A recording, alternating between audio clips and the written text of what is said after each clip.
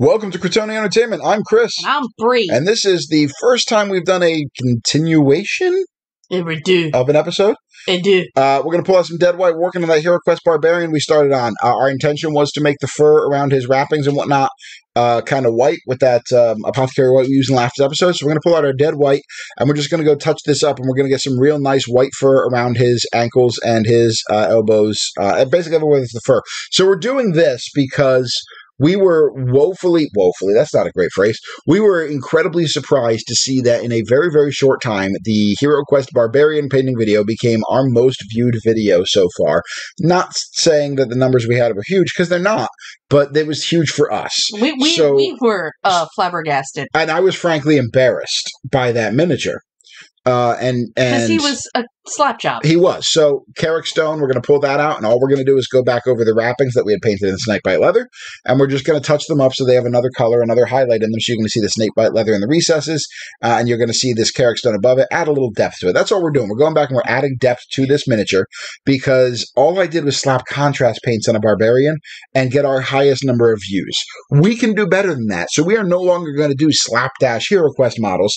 I'm actually going to put effort into the Hero Quest models going forward, and we're going to make some good looking models. What if it turns out though the people only liked it because it's slapdash? Well, there's only so many episodes where I can show you, hey, I put a contrast paint on this and did nothing else. So you're I to get bored of it really quick. Yeah, that's. So that's why this is Hero Quest episode 1.5, the Barbarian Redux.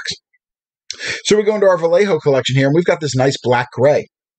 We're not messing with his hair. We're keeping it black. We're just kind of drawing in some streaks to kind of represent the strands of his hair. Again, this whole video, it's a it's a quick little video. We're not breaking any special ground. We're just showing you how to take your barbarian if you did what we did, and you want him to look uh, better than he does just with contrast. Just Just a hint. Just that a tiny hint. just that extra step. Here's how we can do that. We're not going to go back and repaint this whole guy. It's not going to happen. So we're going to go take our Mephiston. Because clearly he's not a uh, high elf from the Warhammer I have nothing to speak to you about on that subject. so we're going to pull out our Mephiston red, uh, and we're going to go ahead and just paint over his butt flap. But flap!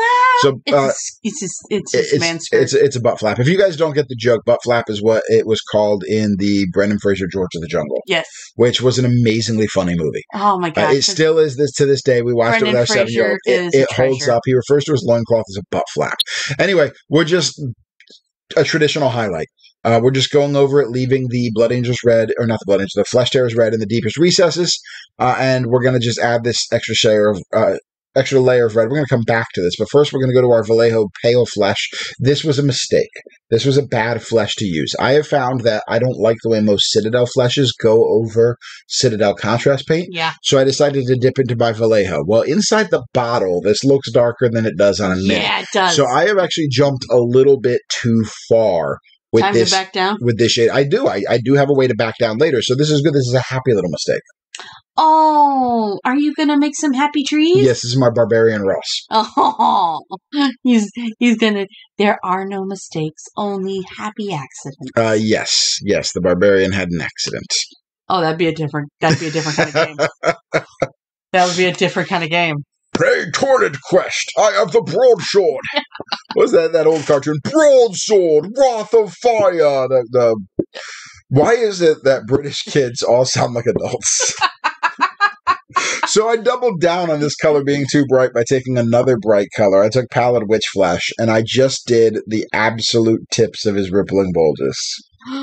We were called out on rippling bulges. Why- Somebody in the comments is- Somebody in the comments said we should not call it rippling bulges. We Well, should call what- it muscularity.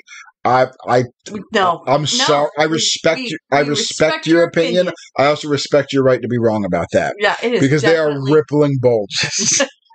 where did we? Where did we start saying? What was I painting where we said rippling bulges the first time? I don't remember. It doesn't matter. So we're just I doing. feel like it was one of the Power Rangers. It was minis. absolutely one of the Power Rangers minis. Maybe it wasn't. Maybe we've painted other minis. It doesn't matter. I, you know, it's other stuff. It doesn't matter at this point. All model I muscles that are rippling I love that we get to pay so much attention to his toesies. I love that we just rant about things, and there is a, albeit very small, group of people who actually care about us ranting about things. We don't write scripts. No, You're new to the channel from our Hero Quest. We don't write scripts. We just rant. Uh, peek behind the curtain. we're using our, our iron breaker here. Yep. So this is the- highlight so- on the metal. This is the same metal we used to do the sword in the first place. hmm But then we washed over it with a couple things. We're just doing the tip of the sword, Mhm. uh, the edges of the sword, and then kind of right down the middle where there's that little crease. oh my god!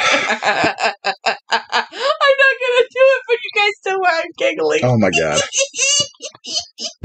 he said it, not me. Anyway, here's how I do these these videos. I paint miniatures. And then I just slap the clips together. I put in little blurry transitions, and then Bree has not seen the miniature process at all. And we just hit record and we start ranting. And it is very, very rare that we go back and fix anything we rant about unless it goes completely off the rails. and even then, we're not quick to really. I don't edit. I don't like to. I've lost video clips and been like, ah, here's what I did on those clips. We are If you not want to see that, go watch one of our Doc Ock clips. uh, well, Doc Ock's not going to be released until this Wednesday. This is coming out on Tuesday. Well, Um, tomorrow, watch Doc Ock. You'll uh, see why. so anyway, we got the Evil Sunz Scarlet. Um, same thing. We're just doing an additional Wait, layer of are we red going over back the for the Runefang Steel again? We go no, we didn't do Runefang Steel yet. We did Ironbreaker. oh, we did. The Iron. Runefang Steel is just going on the very raised tips of the gold. It's Ah. actually going to layer our gold. So just itty bitty little lines of the Runefang Steel.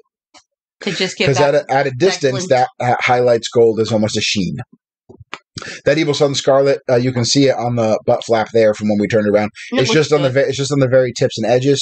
Then we're going to pull out this Kador red highlight. It's actually an orange, Yeah. obviously. Mhm. Obs. Obs.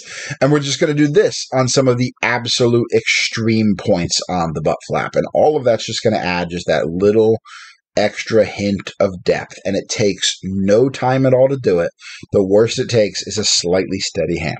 And again, most of these colors that we are mentioning here are good colors to just have um, for if you're painting the Rangers or with us, or if you were painting. Well, since, since we're running out of time, I'm going to interrupt you really quick with a quick thought. With a quick thought, you don't need a lot of colors to paint things. Go back to our totally terrifying Terror Toad video where I paint an entire Terror Toad from Power Rangers in 50 cent craft paints. And it comes out amazing. and he comes out phenomenal. And you'll see that we do that just by mixing colors. So you don't need a lot of colors. So our final step, because I told you this guy is just the whitest guy ever. we took our Reikland Flesh Shade to darken that up. Bree, I didn't mean to interrupt you, but you can see on the thing now we are running out of video time here. So check out Totally Terrifying to see how you can do your minis with 50 cent craft paints, just mixing them together. You don't need a huge palette. But there we go. We have updated our Barbarian. This is our Barbarian Redux.